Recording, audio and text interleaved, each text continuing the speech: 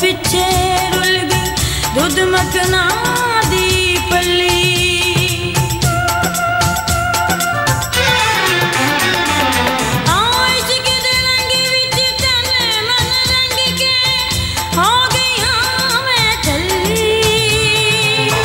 ਇੱਕ ਬੇਕਦਰੇ